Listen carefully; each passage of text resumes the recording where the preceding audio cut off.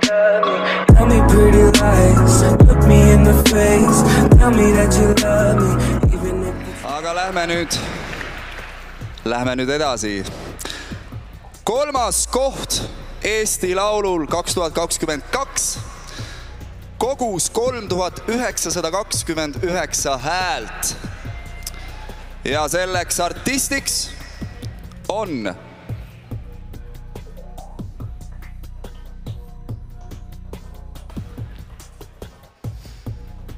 külmavärinad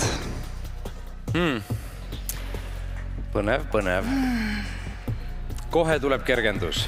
kolmas koht Eesti Laulul kaks tuhat kakskümmend kaks on on siin saalis selleks artistiks on Elisa.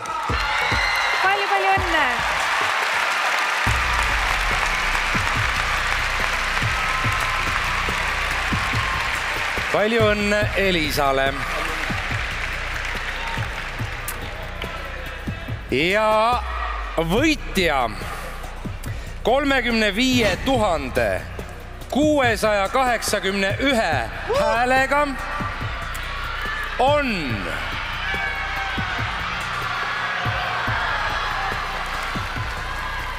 rahvas, mis teie arvate?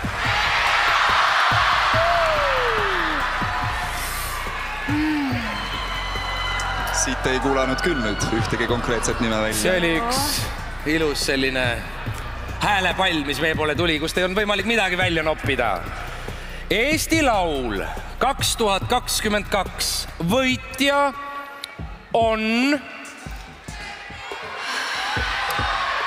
Eesti Laul kaks tuhat kakskümmend kaks võitja on Stefan. palju õnne, sai seega Minimal Wind ja Elizabeth Tiffany. ja olgu öeldud, et Eesti Laulu võitja saab ka rahalise preemia. Eesti Autorite Ühing paneb loo autoritele välja kolm tuhat eurot ning esitaja saab Eesti esitaja